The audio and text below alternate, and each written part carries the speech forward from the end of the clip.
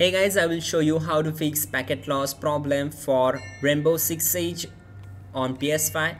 In the first step, what you have to do simply choose settings, then select users and accounts.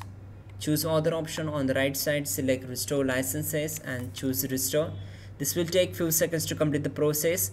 Once done, go back to the main settings, then select network, then choose settings on the right side, select setup internet connection once you are here we need to press option button from your from controller on the registered networks.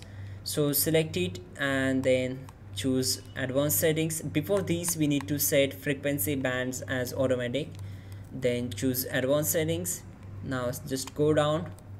For MTU settings we need to set it as manual to access MTU and here 1500 is the default one but when it comes to packet loss then and connection drops i recommend you to try 14500 or you can also try the 1472 this is the best one.